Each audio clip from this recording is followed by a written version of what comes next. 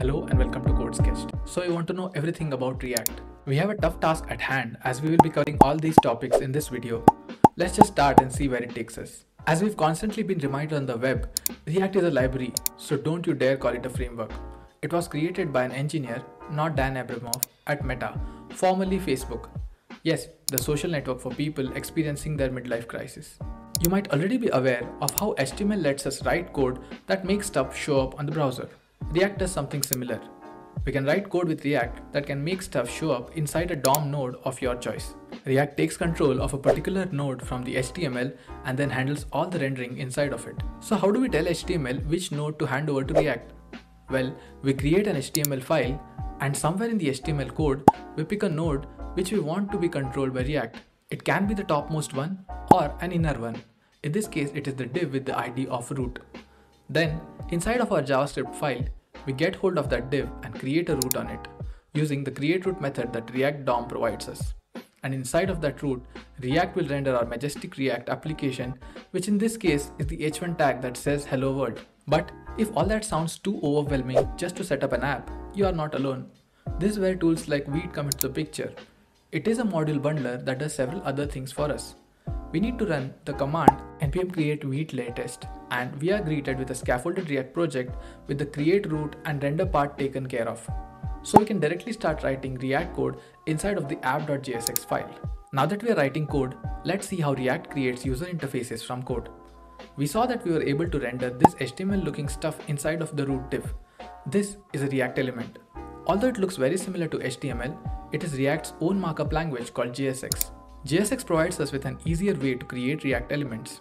If not for JSX, this simple React element would have to be created like this. It is simple because it has just a string as the child. But a child could be anything, even another React element, and that gets pretty messy pretty soon. So let us thank God for JSX and move on. You can check out the detailed video about JSX here. The next important thing to know about is components. Components are the atomic units of React, the building blocks that form the bigger picture. In modern functional React development, a component is a function that returns a React element. So this is an example of a simple component that returns the element we saw before. It can even return several nested elements like this. But the real use case where components shine is when they accept props or properties that are passed from the parent to the child component. This way, the parent can customize the child component's output. For instance, look at this say hi react component. It accepts props, one of which is the name prop. It is then returning a React element interpolating the name prop with hey added before it. With that in place, a parent React component can call the say hi component by supplying different values for the name props. And the say hi component would render different results like so. Now that is reusability pro max, isn't it? So we now know that React executes this function and the React element that gets returned from it gets reflected in the browser. When the parent sends a new set of props, the newly generated element gets shown on the browser. But then, what if the props don't change? What if something internal to the component changes and that needs to be reflected on the browser? How will React know when to re-execute the function and get the newly returned element? That is where state comes into picture. State can be thought of as a piece of data on which the UI depends. So basically, the UI that is rendered on the browser can be thought of as a function of props and state. Whenever a piece of state in the component changes, React makes sure to execute the function, that is, the component, again and get the fresh React element that gets generated as a result. React provides us with a hook-based API to create state. The useState function here returns us with a state value along with a function to set the new value. Calling this set function is how we tell React to execute the function component again to recompute the latest JSX elements. After learning that, you might be thinking, so React executes the function every single time whenever even a small piece of state changes? Wouldn't that be suboptimal? Why isn't React slow? Well, the creators of React are smart people, and this is where React's trademark reconciliation algorithm and virtual DOM comes into the picture. It basically makes sure that only the bare minimum tweaks are made to the browser DOM. I have a whole separate video on the React reconciliation algorithm if you are interested. Moving on, the apps that we create through React are called SPAs or single page apps. That is because when the app is initially loaded on the browser, all the JavaScript required to run the app is sent to the browser. Then, the JavaScript code is executed on the browser to create the UI. Technically speaking, the page never refreshes after that. But we can navigate to different routes using libraries like React Router. The library makes sure to load the particular component defined for a particular route and also updates it on the browser address bar so they remain in sync. As you might have noticed, downloading the entire app bundle on the browser and executing it there is not optimal. And that's why there exist other solutions where the entire UI is rendered on the server and the rendered HTML is sent to the browser. This is called as SSR aka server-side rendering and Next.js is a framework providing this capability in-house. Here's a separate video about Next.js. The React component cannot function as a standalone entity disconnected from the external world.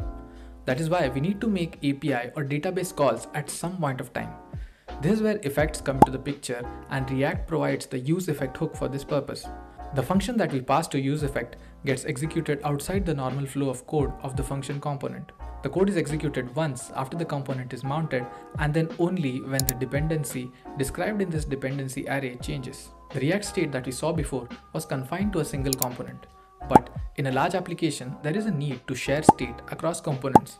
The component should have the ability to tweak the shared state and also be able to detect changes when another component modifies a portion of the state.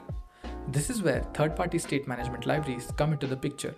The most popular one is Redux, but there are plenty of others.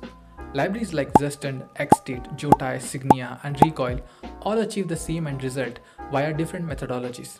We'll cover them in future videos if you are interested. Do comment below with your favorite. That's about state management. But hey, we don't want to build ugly looking apps, do we? That's where styling comes into the picture. There are traditional methods where we can assign classes inside of JSX and then define those classes inside of CSS or Sass files. There's also the less respected way where you can just write all your styles inside of your style object that can be passed to any JSX tag that is mostly reserved for when the world falls into anarchy. But similar to state management, there are plenty of third-party solutions for styling your apps. There's style components, emotion, Chakra UI, good old Bootstrap, there's Tailwind which has a cult-like following and then Pico CSS which is highly underrated. And then there are 2000 others which I cannot talk about in this video. So that is where I'll try to wrap up this video and hope that I delivered on the promise of teaching you everything there is to know about React. Let me know what I missed so that I can create a part 2 for you. In the meanwhile, check out this video to know how re-rendering works in React. See you in the next one.